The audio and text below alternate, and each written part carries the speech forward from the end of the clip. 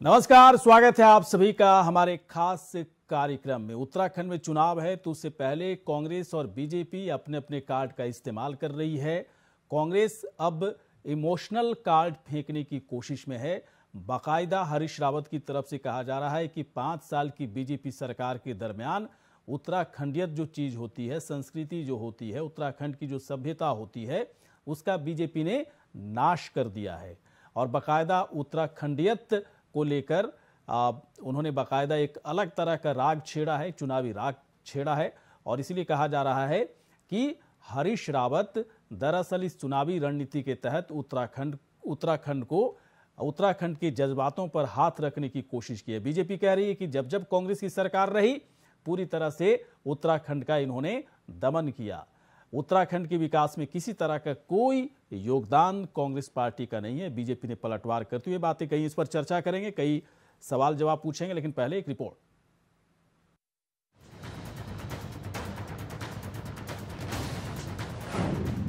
चुनाव से पहले चुनावी डफली के शो। बीजेपी सरकार को कांग्रेस बता रही फेक कांग्रेस सरकार को फिसड्डी बता रही बीजेपी।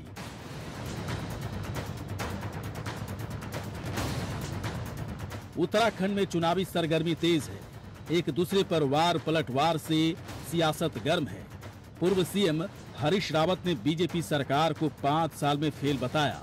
हरीश रावत ने कहा कि पिछले पाँच साल की बीजेपी सरकार में उत्तराखंडियत और उत्तराखंड की जनता का अपमान हुआ है। कई मुद्दों पर हरीश रावत धामी सरकार को घेरते नज़र आ रहे हैं। उत्तराखंड और उत्तराखंडियत की उपेक्षा की है। उत्तराखंड के आम व्यक्ति के हितों पर चोट की है और उत्तराखंड के बड़े सवालों की अनदेखी की है, उसको लोगों तक लेकर के जाओ।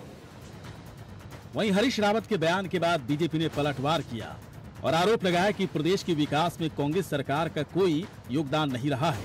चुनाव से पहले हरीश रावत पर जनता को गुमराह करने का भी आरोप बीजेपी की तरफ़ से लगाया गया।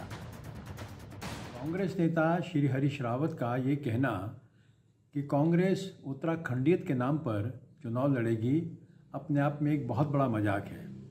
हमारा उनसे पूछना है कि क्या माँ गंगा को नदी के स्थान पर नहर घोषित करना उत्तराखंडियत है? दूसरी ओर जब सेना सर्जिकल स्ट्राइक करती है और कांग्रेस उसका प्रमाण मांगती है। तो ये सैन्य भूमि का जो अपमान इस प्रकार से उनके द्वारा किया गया है, क्या ये उत्तराखंडियत है कांग्रेस ने विधानसभा चुनाव से पहले उत्तराखंड के नारे को उठाकर एक बार फिर बीजेपी के सामने बड़ी चुनौती पेश कर दी है। ऐसे में अब देखना ये होगा कि बीजेपी कैसे इन मुद्दों का तोड़ निकाल पाती है। देहरादून से अभय कैंतुरा की रिपोर्ट।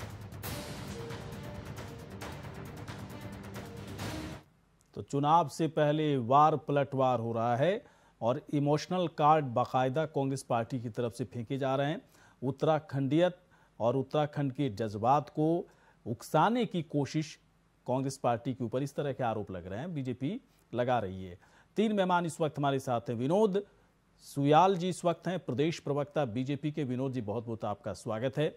सूरत सिंह नेगी, कांग्रेस के नेता इस वक्त हमारे साथ हैं। सूरत जी, आपका स्वागत है। रविंद्र आनंद इस वक्त हैं प्रदेश प्रवक्ता, आम आदमी पार्टी के। रविंद्र जी, स्वागत है आपका। सबसे पहले मैं चलता हूँ बीजेपी के प्रदेश प्रवक्ता विनोद जी के पास चलते विनोद जी, ये उत्तराखंडियत की एक अलग तरह की परिभाषा देने की कोशिश हो रही है। ऐसा लग रहा है कि कांग्रेस पार्टी के तमाम नेता ही उत्तराखंडियत को जानते हैं। बीजेपी, आम आदमी पार्टी को उत्तराखंडियत पता ही नहीं है। थोड़ा सा मैं जानना चाहता हूँ, सर, ये उत्तराखंडियत जज्बात, उत्तराखंड के जज्बात, संस्कृति, सभ्यता, ये क्या बात आजकल हो रही है कांग्रेस की तरफ़ से? आप लोग, आप लोगों को क्यों घेर रहे हैं उत्तराखंडियत पर? विनोद जी तक लगता है आवाज़ मेरी नहीं जा रही है। विनोद जी, सुन पा रहे हैं आप? चले मैं विनोद जी से थोड़ी देर के बाद, थोड़ी देर के बाद मैं आ जाता हूँ। सूरज जी, आप सुन पा रहे हैं मेरी आवाज़ आ रही है आप तक, सर? सूरत नेगी जी सूरत नेगी जी के पास मेरी आवाज़ नहीं जा रही है। आम आदमी पार्टी के प्रवक्ता रविंद्र आनंद जी आप सुन पा रहे हैं मुझे? शंकर जी। चलिए सर मैं आप ही के आप ही के पास आता हूँ। अच्छा जी। आनंद जी आप ठीक हैं? उत्तराखंड में नए हैं। खूब आपका धुआंधार चुनाव प्रचार चल रहा है। जीतने के दावे भी कर रहे हैं। थर्ड ऑप्शन एक तीसरा विकल्प देने के दावे किए जा रहे हैं। प्रचार भी अच्छा चल रहा है आप लोग का। लेकिन मुझे थोड़ा सा बताइए कि अचानक एक कांग्रेस की तरफ़ से उत्तराखंडियत संस्कृति सभ्यता उत्तराखंड के जज्बात जिसमें बीजेपी सरकार फैल रही है इसमें इसमें क्या दरअसल क्या इससे क्या फ़ायदा होगा? आ, मतलब अलग किस तरह से चुनावी जो है एक रणनीति अलग अलग पार्टियों की कैसे बदलेगी? अगर आम आदमी पार्टी की बदलेगी तो कैसे बदलेगी? उत्तराखंडियत कैसे आप लोग शो कर पाएँगे कि आप भी उत्तराखंड के हैं और उत्तराखंडियत आपके अंदर भी है? देखिए आ, गौरी शंकर जी सबसे पहले तो मैं ये कहना चाहूँगा कि कांग्रेस की अगर हम बात करें और बीजेपी की अगर हम बात करें तो कांग्रेस और बीजेपी ने पिछले 21 सालों में आ, जनता के सरोकारों को छोड़कर क्षेत्रवाद को जातवाद को मुद्दा बनाया उत्तराखंड में। हम्म। खुद हरीश रावत जी का जो बयान है उत्तराखंडियत की जो बात करते हैं उत्तराखंडियत को भी वो कई बार बांट चुके हैं कुमाऊवाद और गढ़वालवाद में। हम्म। और उसके बाद पहाड़वाद मैदानवाद। तो हमारा ऐसा मानना है देखिए आम आदमी पार्टी की एक ही स्ट्रेटर्जी है काम की राजनीति करने की। आम आदमी पार्टी कहती है कि काम होना चाहिए काम की राजनीति होनी चाहिए। वनिस्पत इसके कि आप क्षेत्रवाद को बढ़ावा दें और क्षेत्रवाद को आपस में बांटें। जिस प्रकार से अभी हरीश रावत जी का जो बयान आया है उससे एक चीज़ तो साफ़ है कि हरीश रावत जी और कांग्रेस लोगों की भावना से खेलना चाहते हैं और लोगों की भावना से खेलकर चुनाव लड़ना चाहते हैं। क्या तो तो क्या एक मिनट एक मिनट आनंद जी। आनंद लोगों लोगों की भावना के साथ खेलने का मौका कांग्रेस पार्टी को क्यों मिल रहा है? और लोगों की भावना क्या? चुनाव के वक्त लोगों की भावना किस भावना को उकेरना चाहती है कांग्रेस? और क्या आम आदमी पार्टी को कांग्रेस की इस इस जज्बाती इमोशनल कार्ड से किसी तरह कोई फ़र्क नहीं पड़ रहा है? देखिए, ऐसा है कि हरीश रावत जी चूँकि बहुत ज़्यादा इस समय उनके पास कोई काम नहीं है, मुझे ऐसा लगता नहीं है कि उनके पास बहुत ज़्यादा काम है, बहुत ज़्यादा कार्यक्रम लग रहे हैं या बहुत वो बिज़ी हैं।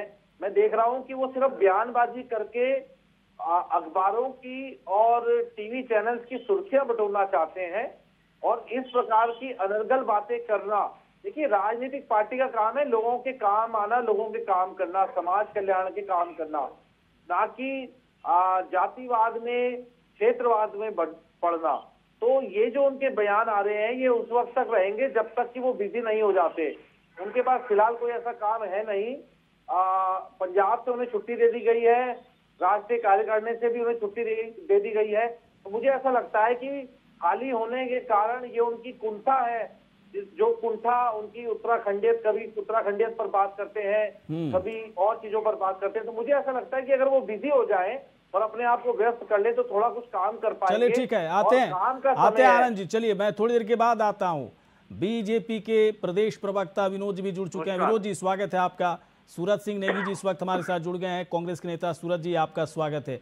सूरज जी, मैं आपके पास ही आ रहा हूँ। आप मुझे बताएँ, ये उत- उत्तराखंडियत थोड़ा समझाएँ मुझे। उत्तराखंड की जनता को कांग्रेस किस तरह से उत्तराखंडियत सिखाना चाहती है? क्या उत्तराखंड की संस्कृति बीजेपी के नेताओं को पता नहीं या फिर उत्तराखंड जो लोग रह रहे हैं उनको नहीं पता है? क्या ज़रूरत पड़ेगी हरीश रावत को कि बीजेपी की सरकार पिछले चार, पिछले साढ़े चार साल के दरमियान उत्तराखंडियत को नष्ट करने का काम किए?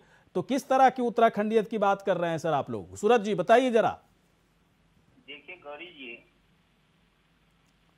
भारतीय जनता पार्टी और जो अभी मैं दूसरे दल के प्रवक्ता जी को सुन रहा था भारतीय तो जनता पार्टी वाले तो बोले ही नहीं अभी। हाँ परंतु मैं वो दूसरे प्रवक्ता जी को आम आदमी पार्टी के प्रवक्ता रविंद्र आनंद जी बोल रहे थे। बोलिए सर अब जी जी जी। तो मैं थोड़ा बहुत सुन पाया उनको। हाँ आप लोग लेट तो, लेट जुड़े एक्चुअली वो भी मतलब पता नहीं क्यों जब हम उत्तराखंड की बात करते हैं हम्म। उत्तराखंड की उत्तराखंडियत की बात करते हैं हम्म। जब हम भारत और भारतीयता की बात करते हैं हम्म।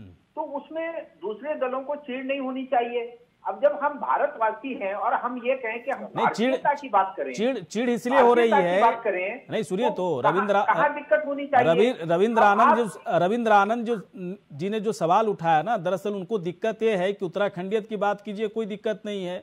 लेकिन आप लोग गढ़वालियत की बात करने लगते हो कुमायूत की बात करने लगते हो पहाड़ पहाड़ों की बात करने लगते हो फिर मैदानी इलाकों की बात करने लगते हो और पूरे उत्तराखंड को अलग अलग हिस्सों में बांटने का भी काम आप लोगों ने किया। तो फिर उत्तराखंडियत उत्तराखंडियत कहने का हक कांग्रेस पार्टी के पास कहाँ से आ गया?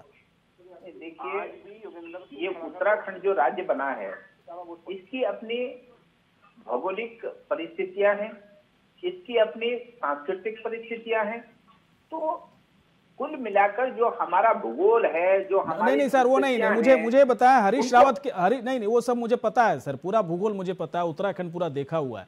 मुझे बताएँ ये उत्तराखंडियत संस्कृति ये बड़े बड़े पोस्टर लटका के क्या दिखाना चाह रहे हैं मुझे ये बताइए चुनाव है इसलिए ऐसा कर रहे हैं क्या नहीं नहीं देखिए हरीश रावत जी जब पूर्व में मुख्यमंत्री थे तो उन्होंने उत्तराखंड की जो पहचान है हम्म। जो हमारे लोकल उत्पाद है जो हमारी संस्कृति है हम्म। उसको आगे बढ़ाने का काम किया और तब वो चाहे मंडुआ हो झंगोरा हो गहत हो इस टाइप से जितने भी हमारे यहाँ के तो उत्पाद मतलब हैं मतलब आप ये कह रहे हैं मतलब आप ये कह रहे हैं कि कांग्रेस की जब सरकार रही उसी ने उत्तराखंडियत पर ध्यान दिया बाकी बीजेपी की सरकार ने नहीं दिया।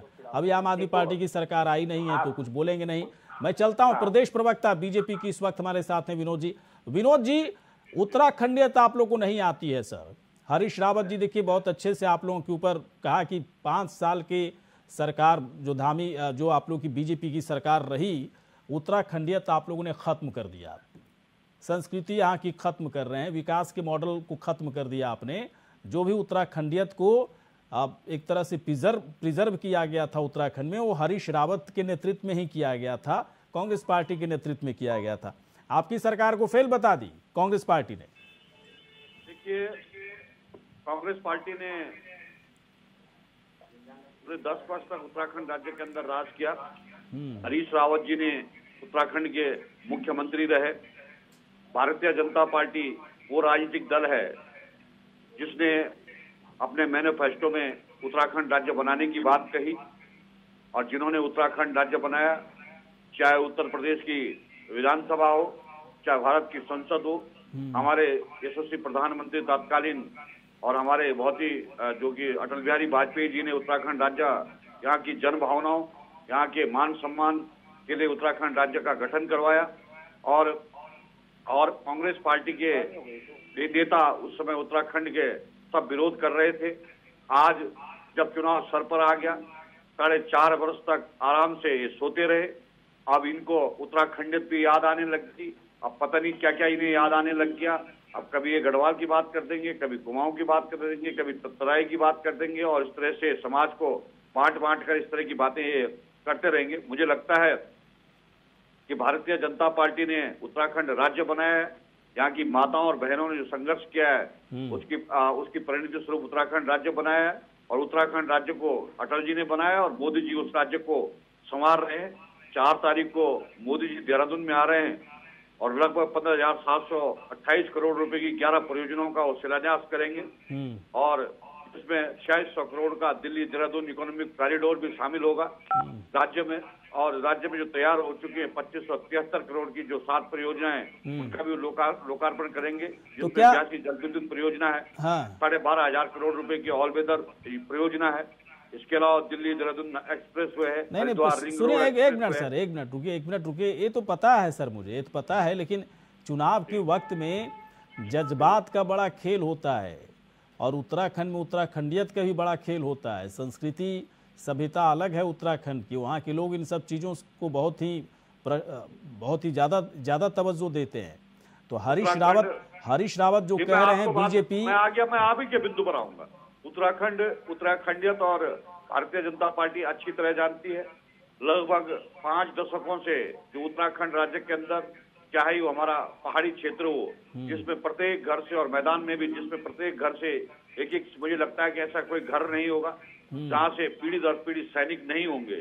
और इतने वर्षों तक उन सैनिकों की अनदेखी करने का काम यही हरीश रावत जी की पार्टी ने किया है। हाँ। और जब ये हरीश रावत जी केंद्र में सर्व मंत्री जब हरीश रावत जी जल संसाधन मंत्री जब उत्तराखंड के मुख्यमंत्री थे तब ये केवल इन्हें कुछ याद नहीं आ रहा था। हमारी सरकार ने वन मतलब मतलब आप ये कह रहे हैं कि चुनाव है तीन चार महीने के बाद चुनाव है इसलिए हरीश रावत हरीश रावत को जो मन में आ रहा है वो कह रहे हैं एक उनकी रणनीति है उस रणनीति के तहत हो सकता है कि कुछ जो कुछ फ़ायदा हो जाए। मैं आनंद के पास आ, आता हूँ रविंद्र आनंद के पास। आनंद जी देखिए आप बारी बारी से बीजेपी और कांग्रेस वहाँ पर सरकार बनाती रही है। इक्कीस साल के उत्तराखंड को अभी भी लेकिन बहुत कुछ ज़रूरत है। ऐसा लगता है कि चाहे वो कांग्रेस की सरकार रही हो बीजेपी की सरकार दावे तो दोनों सरकारें करती हैं विकास के। लेकिन जनता से जब मिलो तो जनता कहती है कि कुछ मिला ही नहीं मुझे। तो आम आदमी पार्टी क्या इस गैप को भरने की कोशिश में लगी हुई है वहाँ पर देखिए ऐसा है कि जब से उत्तराखंड बना है हम्म। तब से ही एक तीसरे विकल्प की आवश्यकता उत्तराखंड को थी क्योंकि दोनों मतलब एक बहुत मैं इम्पोर्टेंट बात आपको गौरी शंकर जी बताने जा रहा हूँ जल्दी सर एक मिनट का टाइम आपके पास पिछले चार साल से साढ़े चार साल से हम्म। कांग्रेस इस बात का वेट कर रही थी कि किसी तरीके से लोग बीजेपी से उग जाए और हमारे पास ही आएँगे क्योंकि ऑप्शन नहीं है। हम्म। लेकिन जब से आम आदमी पार्टी आई है तब से कांग्रेस की भी नींद हराम हो गई है। कांग्रेस को ये समझ में आ चुका है कि अब तीसरे विकल्प के तौर पर आम आदमी पार्टी आ गई है। और कहीं ना कहीं जो ये गैप था एक विकल्प का एक जो गैप था ये भरने जा रहा है। चुनाव लड़ने की हिम्मत नहीं कर पाई थी। जनता ने समझ लिया है कि दोनों ही पार्टियों ने जनता को लूटने का काम किया है। हमेशा जातिवाद भेदभाव में आम आदमी पार्टी ने काम नहीं किया। जनता को जनता के सरोकारों से दूर रहे हैं।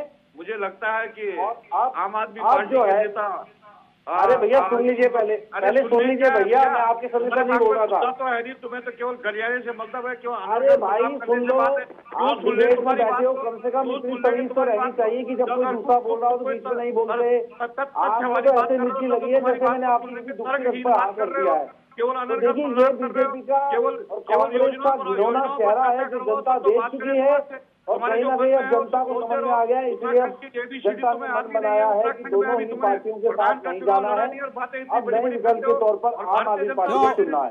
आनंद जी आनंद जी देखिए आनंद जी आम आदमी पार्टी के ऊपर आरोप आरोप लगते चाहे कांग्रेस पार्टी हो या बीजेपी के नेता उन लोगों की तरफ़ से हमेशा ये कहा जाता रहा है हवाबाजी ज़्यादा आप लोग करते हैं है ना? ज़मीन पर चीज़ें कम दिख रही हैं लेकिन ऐसा शो करते हैं जैसे आपकी ही पार्टी जीत रही है। तो हवाबाजी हवाबाजी करने में पार्टी लगी हुई है और अभी उत्तराखंड को समझने में बहुत वक्त लगेगा आम आदमी पार्टी को। ये इस तरह के आरोप हमेशा लगते रहे। मैं आता हूँ सर। ये ये सवाल आपके लिए एक्चुअली मैं नहीं पूछ रहा हूँ इस तरह के आरोप आपके ऊपर लग रहे थे अभी। सूरज सिंह दे रहा हूँ आपको। जल्दी सर। बीस सेकंड में जवाब दीजिए इसका। देखिए ऐसा है कि समय नहीं रहता कम रहता है समय इसमें। बीस सेकंड देखिए ऐसा है कि आम आदमी पार्टी को कांग्रेस और बीजेपी दोनों ही पार्टियाँ एक दूसरे की बी टीम बताती है। यानी कि बीजेपी कहती है मैं हम कांग्रेस की बी टीम है और कांग्रेस कहती है बीजेपी की बी टीम है। हाँ। जबकि हमने दोनों को धूल चटाई है दिल्ली में एक नहीं दो दो बार। दिल्ली इस बार उत्तराखंड में ठीक है दिल्ली हम एक बहुत सुनिए तो भाई साहब सुनिए तो भाई साहब ऐसा नहीं है कि आप आप जो है कोलकाता में रसगुल्ला खा रहे हैं तो उसी तरह का टेस्ट जो है ना आपको दिल्ली मिल जाएगा। ऐसा नहीं है भाई साहब थोड़ा समझिए बात को जो है। है ना दिल्ली में ठीक है आपकी सरकार है सबको धूल चटाया लेकिन उत्तराखंड में उत्तराखंड में स्थितियाँ अलग है। एकदम से एकदम से ऐसा मान करके चलना कि मैं ही जीत रहा हूँ। मुझे लगता है कि चुनाव लड़ रहे हैं जो लोग इस समय ज़मीन पर हैं हाँ। हम लोग उत्तराखंड के ही हैं भाई। हम कोई दिल्ली से या किसी विदेश से नहीं आए तो फिर दिल्ली मॉडल क्यों बोलते रहते हो आप? हमेशा दिल्ली मॉडल दिल्ली में धूल चटाए। मैं आता हूँ मैं आता हूँ सर आपके पास। सूरज सिंह नेगी जी बताइए सर। ये ये ये मुझे थोड़ा सा ये बताइए अचानक उत्तराखंडियत की बात, जज्बातों की बात, हरीश रावत जो करने लगे, क्या इसे फ़ायदा आप लोग को मिल जाएगा? क्या चुनाव में? क्योंकि चुनाव में इस बार जो है दो तरफा मुकाबला नहीं है, बल्कि तीन तरफा मुकाबला है। आम आदमी पार्टी भी कह रही है कि मैं तो जीत कर दिखाऊँगा, जैसे दिल्ली में सभी को धूल चटाए थे, वैसे इस बार भी उत्तराखंड में सभी को धूल चटा देंगे। देखिए, गौरी शंकर जी जहाँ तक आम आदमी पार्टी का सवाल है हम्म। तो आम आदमी की पार्टी की विश्वसनीयता ही जनता में नहीं है। एक मिनट दो हज़ार नहीं 2017 में भी ये लोग आए थे और इन्होंने चुनाव लड़ने से तो फिर देखा तो उसके बाद चुनाव लड़ने से मना कर दिया। हम्म। अच्छा ये तो दिल्ली में भी कह रहे थे मेरे भाई फिर क्या हुआ आपका? ये तो आप दिल्ली में आप आप ये देखिए उत्तराखंड में अब दिल्ली की अगर बात करेंगे आप तो हम कहेंगे कि जो है 2014 से पहले ये लोकपाल के लिए जो लोग लड़े थे और तमाम दिल्ली में जो है शिला दीक्षित की सरकार को जिन्होंने भ्रष्टाचार बताया था बत्तीस सौ पेजों की जो जिनके बाद रिपोर्ट की शिला दीक्षित के भ्रष्टाचार की हम्म। सात साल आपकी सरकार को हो गए कहाँ है वो भ्रष्टाचार? क्यों नहीं? अगर भ्रष्टाचार थे तो क्यों नहीं? भ्रष्टाचारी जेल में गए। क्यों नहीं? वो घोटाले उजागर हुए। ये ये प्रोपेगेंडा पार्टी है। हम इसलिए कहते हैं कि ये भारतीय जनता पार्टी का जो है बी टीम है एक बड़े जुमलेबाज केंद्र की सरकार में बैठे हैं। दूसरे जुमलेबाज दिल्ली की मैं सरकार में बैठे हैं। मैं विनोद जी के पास आ रहा हूँ। विनोद जी विनोद जी एक मिनट का एक मिनट टाइम एक मिनट टाइम दिया जा रहा है सर आपको। एक मिनट में बताना है सर आपको कि देखिए आम आदमी पार्टी से आम आदमी पार्टी से कांग्रेस परेशान तो रहती है चाहे दिल्ली की बात हो चाहे उत्तराखंड की बात हो। आम मतलब सबसे सबसे सबसे तो सबसे पहला पड़ता है, सबसे सबसे पहला नुकसान तो कांग्रेस पार्टी को ही होता है। बीजेपी क्या आम आदमी पार्टी को आम आदमी पार्टी को किसी तरह से कोई खतरे कर खतरे वाली पार्टी नहीं मानती उत्तराखंड में बताइए सर। भारतीय जनता पार्टी को उत्तराखंड की जनता का जनाशीर्वाद प्राप्त है। हमने लोकसभा का चुनाव प्रचंड बहुमत से जीता हमने विधानसभा का चुनाव प्रचंड बहुमत से जीता अरे हमने वही सात प्रचंड साल- बहुमत देंगे तो सात उत्तराखंड साल की अंदर जनता जो जो है गलती कर गई है। साढ़े चार सालों के अंदर जो जनता जो है इस बार को लेकर वाली है। वाले उत्तराखंड राज्य हमने बनाया है वन रैंक वन पेंशन हमने दिया है। आप और राज्य को ही उत्तराखंड राज्य हैं। आपने बनाया। भारतीय जनता पार्टी आपके पास बहुमत ही नहीं था। आने वाले समय में उत्तराखंड की जनता ने बनाया है, तो है, उनकी कांग्रेस पार्टी से चुनौती है न हरीश राव जी महिलाओं ने बनाया इस राज्य को। पार्टी तो इतना बड़ा आंदोलन हुआ। बिना आंदोलन के दिया आपने। एक तरफ़ कहते हैं हमने दिया और ये लुज अभी दिया है कहाँ है परिसंपत्तियों का बंटवारा परिसंपत्तियों का बंटवारा? आपने के नहीं किया राजधानी घोषित आपने नहीं की। राजधानी आपने नहीं बनाई। आज आज भी जो है आप गिरवी रखे आए हैं परिसंपत्तियों को उत्तर प्रदेश के हमारे पास है साठ चलिए सर आप तीनों यहाँ पर आए बहुत बहुत शुक्रिया सर। बहुत बहुत शुक्रिया धन्यवाद। इसी के साथ हमारे खास कार्यक्रम इतना ही नमस्कार।